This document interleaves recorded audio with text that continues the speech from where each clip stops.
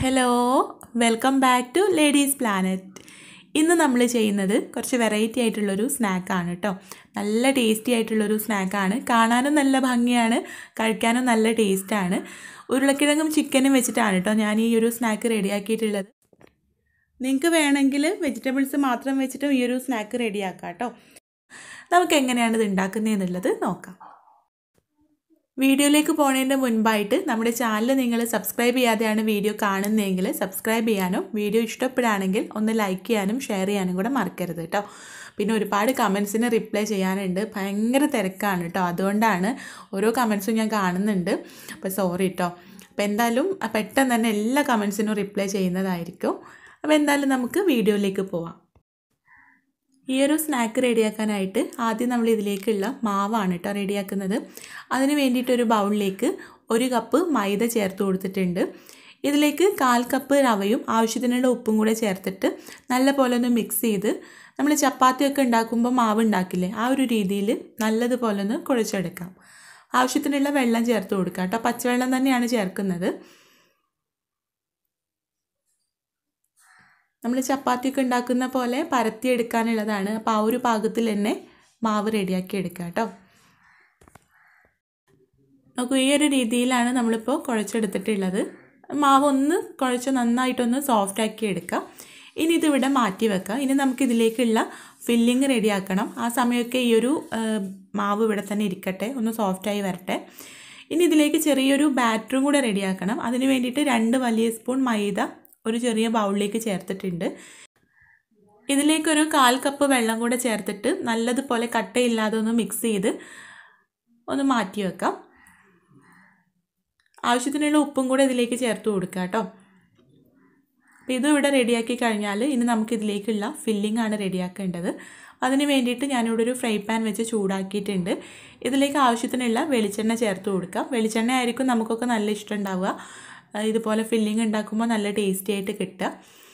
അപ്പോൾ ഞാനിവിടെ വെളിച്ചെണ്ണയാണ് കേട്ടോ എടുത്തിട്ടുള്ളത്. അപ്പോൾ ഇതിലേക്കൊരു വലിയ സവാള പൊടിയായിട്ട് അരിഞ്ഞതും എരിവിന് ആവശ്യത്തിനുള്ള പച്ചമുളകും കുറച്ച് കറിവേപ്പില പൊടിയായിട്ട് അരിഞ്ഞതും കൂടി ചേർത്തിട്ട് നല്ല പോലെ ഒന്ന് വഴറ്റിയെടുക്കാം. അപ്പോൾ ഇത് പെട്ടെന്ന് വഴന്ന് കിട്ടാൻ വേണ്ടിയിട്ട് ആവശ്യത്തിനുള്ള ഉപ്പും കൂടെ ചേർത്തിട്ട് നല്ലതുപോലെ ഒന്ന് വഴറ്റിയെടുക്കാം കേട്ടോ. ഞാനിപ്പോൾ ഒന്ന് പെട്ടെന്ന് വഴന്ന് വരാൻ വേണ്ടിയിട്ട് ഒന്ന് മൂടി വെച്ച് കൊടുക്കുന്നുണ്ട്. ലോ ഫ്ലെയിമിലൊരു രണ്ട് മൂന്ന് മിനിറ്റൊക്കെ മൂടി വെച്ച് കൊടുക്കുക. അപ്പോഴേക്കും സവാള ഒന്ന് സോഫ്റ്റായിട്ട് വരും. സവാള ഒന്ന് സോഫ്റ്റായി വരുമ്പോൾ ഇതിലേക്ക് ഒരു ടീസ്പൂൺ ഇഞ്ചി വെളുത്തുള്ളി പേസ്റ്റ് കൂടെ ചേർത്തിട്ട് അതിന്റെ പച്ചമണം പോകാൻ വേണ്ടിയിട്ട് നല്ല പോലെ ഒന്ന് ഇളക്കി കൊടുക്കുക. ലോ ഫ്ലെയിമിൽ തന്നെ വെച്ചിട്ട് ഇളക്കി കൊടുക്കുക കേട്ടോ. ഏകദേശം ഒന്നോ രണ്ടോ മിനിറ്റ് ഇളക്കി കൊടുക്കുമ്പോഴേക്കും ആ ഒരു ഇഞ്ചി വെളുത്തുള്ളി പേസ്റ്റിന്റെ പച്ചമുണക്കൊന്ന് പോയി കിട്ടും. അതിനുശേഷം നമുക്കിതിലേക്ക് മസാലപ്പൊടികൾ ചേർക്കാം. ഞാനിവിടെ അര ടീസ്പൂൺ മഞ്ഞൾപ്പൊടി മുക്കാൽ ടീസ്പൂൺ മുളക് പൊടി കാൽ ടീസ്പൂൺ ഗരം മസാല കാൽ ടീസ്പൂൺ കുരുമുളക് പൊടി. അത്രയും പൊടികളാണ് കേട്ടോ ചേർക്കുന്നത്. അതൊക്കെ നമ്മുടെ ഇഷ്ടത്തിനനുസരിച്ച് അങ്ങോട്ടും ഇങ്ങോട്ടൊക്കെ മാറ്റം വരുത്താം. നിങ്ങൾക്ക് മുളക് പൊടി ചേർക്കാൻ താല്പര്യമില്ലെങ്കിൽ കുരുമുളക് പൊടി മാത്രമായിട്ട് ചേർക്കാം. അതൊക്കെ നമ്മുടെ ഇഷ്ടത്തിനനുസരിച്ചിട്ടുള്ള മസാലപ്പൊടികൾ ചേർക്കാം കേട്ടോ. മസാലപ്പൊടികൾ ചേർത്ത് കഴിഞ്ഞാൽ അതിന്റെ പച്ചമണം പോകാൻ വേണ്ടിയിട്ട് കുറച്ച് സമയം ഇളക്കി കൊടുക്കുക. ഇനി ഞാനിതിലേക്ക് ചേർക്കുന്നത് ചിക്കനാണ് കേട്ടോ. വേവിച്ച് പൊടിച്ചെടുത്ത ചിക്കനാണ് കുറച്ച് മഞ്ഞൾപ്പൊടി ഉപ്പും ചേർത്തിട്ട് വേവിച്ച് മിക്സിയുടെ ജാറിലിട്ട് കറക്കിയെടുത്ത എല്ലില്ലാത്ത കഷ്ണങ്ങളാണ് കേട്ടോ. അത് ഞാൻ ഇതിലേക്ക് ചേർത്തിട്ട് നല്ല പോലെ ഒന്ന് മിക്സ് ചെയ്തെടുത്തിട്ടുണ്ട്. ഇനി ആ ഒരു ചിക്കനിൽ മസാലപ്പൊടികളും ഒക്കെ ഒന്ന് പിടിച്ച് കിട്ടാൻ വേണ്ടിയിട്ട് രണ്ട് മിനിറ്റ് ലോ ഫ്ലെയിമിലേക്ക് മാറ്റിയിട്ടൊന്ന് മൂടി വെച്ച് കൊടുക്കാം. അതിനുശേഷം തുറന്നിട്ട് നമ്മൾ ഇതിലേക്ക് ചേർക്കുന്നത് ഉരുളക്കിഴങ്ങാണ് കേട്ടോ ഒരു വലിയ ഉരുളക്കിഴങ്ങാണ് ഞാനിവിടെ എടുത്തിട്ടുള്ളത്. അപ്പോൾ നിങ്ങൾക്ക് ഇനി ചിക്കൻ ഇല്ല ചിക്കൻ ഇല്ലാതെ ഉണ്ടാക്കണമെന്നുണ്ടെങ്കിൽ ഉരുളക്കിഴങ്ങ് മാത്രം വെച്ചിട്ടും ഉണ്ടാക്കാം കേട്ടോ കുറച്ചുകൂടെ ഉരുളക്കിഴങ്ങ് ചേർത്ത് കൊടുത്താൽ മതി. ഞാനിവിടെ ഒരു വലിയ ഉരുളക്കിഴങ്ങ് പുഴുങ്ങി തൊലി കളഞ്ഞ് ഒന്ന് ഉടച്ചെടുത്തതാണ് ഇതിലേക്ക് ചേർത്തിട്ടുള്ളത്. ഉരുളക്കിഴങ്ങ് കൂടെ ചേർത്തിട്ട് നല്ല പോലെ ഒന്ന് മിക്സ് ചെയ്തതിന് ശേഷം ഇതിലേക്ക് നമുക്ക് കുറച്ച് മല്ലിയിൽ അരിഞ്ഞതും കൂടെ ചേർത്ത് ഇളക്കിയിട്ട് ഫ്ലെയിം ഓഫ് ചെയ്ത് കൊടുക്കാം. അപ്പോൾ നമ്മുടെ ആ ഒരു ഫില്ലിങ് റെഡി ആയിട്ടുണ്ട്. ഇനി നമുക്ക് നമ്മുടെ ഈ ഒരു സ്നാക്ക് റെഡിയാക്കാനായിട്ട് തുടങ്ങാം. അപ്പോൾ നമ്മളിവിടെ പരത്തി വെച്ചിട്ടുള്ള ആ ഒരു മാവില്ലേ അതെടുത്തിട്ട് നമുക്ക് നല്ല പോലെ ഒന്ന് പരത്തിയെടുക്കാം. അപ്പോൾ ഇത് ഒന്നായിട്ടാണ് കേട്ടോ നമ്മൾ പരത്തുന്നത്. ഒന്നിച്ച് വലിയൊരു ചപ്പാത്തി പോലെ പരത്തിയെടുക്കുകയാണ് കുറച്ച് മൈദ തൂവിയിട്ട് നല്ല പോലെ ഒന്ന് പരത്തിയെടുക്കാം.